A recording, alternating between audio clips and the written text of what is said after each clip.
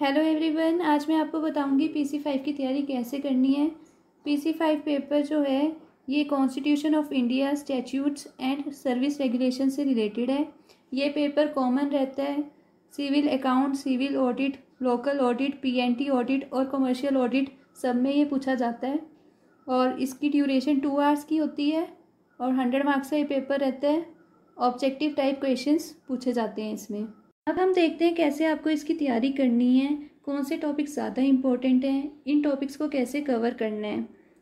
तो सबसे पहले आपको सर्विस रेगुलेशंस के रूल्स करने हैं, जो भी सिलेबस में मैंशन हैं, उनके प्रोविजंस आपको अच्छे से करने हैं। जैसे central civil services joining time rules ये आपको अच्छे से करना है। छोटा टॉपिक है, लेकिन इम्पोर्टेंट है। इससे क्वेश्चंस पूछे जाते हैं। इस बार भी क्वेश्चन आए हुए थे ज्वाइनिंग टाइम रूल्स के, और बहुत ईजी टॉपिक है। आपका ईजिली कवर हो जाएगा। आप ये टॉपिक भारी की बुक से कवर कर सकते हो। Next is central civil services pension rules very very important pension rules तो इम्पोर्टेंट टॉपिक है ही। तो ये तो आपको करना ही करना है। बहुत इम्पोर्टेंट है। ये अच्छे से आपको करना है। ये भी आप भारी की बुक से कवर कर सकते हो। Next is new pension scheme most important topic ये आपको अच्छे से करना ही करना है। इस बार भी इससे क्वेश्चन पूछे गए थे। तो ये टॉपिक आपको बिल्कुल भी छोड़ना नहीं है। छोटा टॉपिक है और इजी भी है। तो ये आपका इजीली कवर भी हो जाएगा तो इसे आप अच्छे से कर लेना। Next is central civil services leave rules ये भी इम्पोर्टेंट है। आपको सभी लीव रूल्स अच्छे से याद रखने हैं। कितने टाइम पीरियड के लिए कोई लीव मिलती है, वो सब कुछ आपको याद होना चाहिए।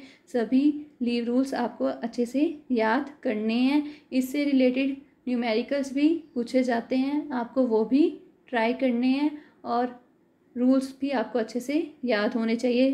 कितना टाइम पीरियड होता है हर लीव का, वो आपको पता होना चाहिए। नेक्स्ट टॉपिक है central civil services classification control and appeal rules ये वाले रूल्स आप सबसे लास्ट में कर सकते हो। इन्हें स्टार्टिंग में मत करना टाइम वेस्ट हो जाएगा। ज़्यादा क्वेश्चंस नहीं पूछे जाते। इसमें सस्पेंशन वाला पार्ट इम्पोर्टेंट है, जो सस्पेंशन से रिलेटेड रूल्स हैं, वो आपको करने हैं।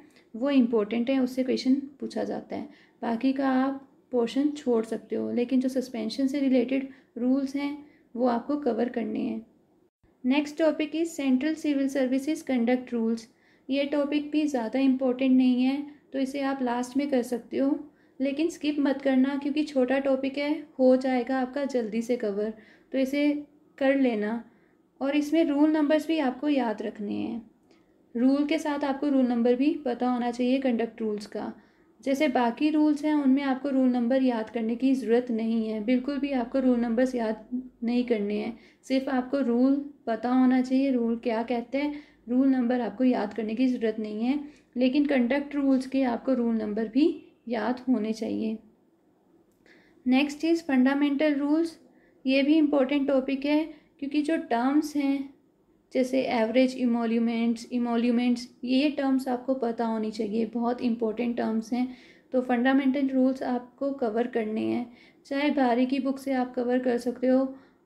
अगर आपके पास ज़्यादा टाइम नहीं है तो मैं आपको यही सजेस्ट करूँगी भारी की बुक से आप पढ़ोगे तो अभी आपका सिलेबस पूरा कवर हो जाएगा। जो इम्पोर्टेंट पार्ट है, वो सारा उसमें कवर हो जाएगा। अगर आपने भारी की बुक से अच्छे से तैयारी की है, बहुत अच्छे से तो आपका पेपर ईजिली क्लियर हो जाएगा। Next topic is travelling allowances rules जो टी ए रूल्स हैं, वो बहुत बहुत इंपॉर्टेंट टॉपिक है। ये आपको अच्छे से करना है। इससे रिलेटेड इस बार बहुत सारे क्वेश्चंस पूछे हुए थे। प्रैक्टिकल क्वेश्चंस भी बहुत पूछे गए थे। तो ये टॉपिक आपको अच्छे से प्रैक्टिस करना है। Next is general provident fund यानी कि जीपीएफ रूल्स वेरी इंपॉर्टेंट ये आपको करना ही करना है। जीपीएफ रूल से बहुत क्वेश्चंस पूछे जाते हैं। टॉपिक इजी है। आप इसे इजीली कवर कर सकते हो तो इसे स्किप मत करना। ये बहुत ज़रूरी है तो इसे ज़रूर कर लेना। Next topic is central civil services medical attendance rules ये टॉपिक इम्पोर्टेंट नहीं है, इसे आप स्किप कर सकते हो। एक तो क्वेश्चन पूछा जाता है इसका, लेकिन उसके लिए पूरा टॉपिक कवर करना टाइम वेस्ट कर देता है, क्योंकि क्रैमिंग पार्ट बहुत ज़्यादा है इसमें तो इसे आप छोड़ सकते हो। अगर आपके पास लास्ट में बहुत ज़्यादा एक्स्ट्रा टाइम बचता है, पूरा आपका सिलेबस कवर हो जाता है, उसके बाद भी आपके पास एक्स्ट्रा टाइम है, तब आप इस टॉपिक को कवर कर सकते हो, वरना आप इसे छोड़ के जा सकते हो। नेक्स्ट टॉपिक है central civil services LTC rules ये टॉपिक बहुत इंपॉर्टेंट है, इसको आपको अच्छे से करना है, इसके प्रैक्टिकल क्वेश्चंस भी पूछे जाते हैं। सभी कंडीशंस आपको अच्छे से पता होनी चाहिए तो ये रूल्स आपको अच्छे से कवर करने हैं एलटीसी रूल्स अभी मैं आपको बता चुकी हूँ रूल्स के आपको रूल नंबर्स याद नहीं करने हैं। सिर्फ़ जो कंडक्ट रूल्स हैं, उनके रूल नंबर्स आपको याद रखने हैं। लेकिन सभी रूल्स की date of implementation sorry date of implementation पता होनी चाहिए। ये ज़रूर क्रैम कर लेना, कौन से रूल्स किस डेट से इम्प्लीमेंट हुए थे तो ये आपको पता होनी चाहिए। Next topic is constitution of India and acts constitution of India के कुछ पार्ट्स ही सिलेबस में मेंशन हैं, जिनसे रिलेटेड आर्टिकल्स आपको याद करने हैं। जो इम्पोर्टेंट आर्टिकल्स हैं, वही आपको याद करने हैं, और पार्ट किससे रिलेटेड है, वो भी आपको पता होना चाहिए। शेड्यूल्स जो हैं कॉन्स्टिट्यूशन के ट्वेल्व शेड्यूल्स वो आपको अच्छे से याद करने हैं।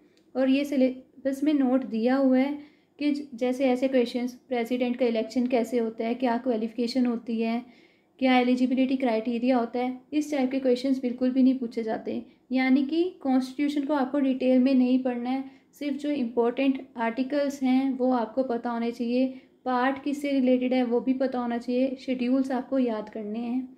इस बार सिर्फ़ एक ही क्वेश्चन पूछा हुआ था कि पंचायत से रिलेटेड कौन सा पार्ट है। तो आपको यही चीज़ें याद रखनी है।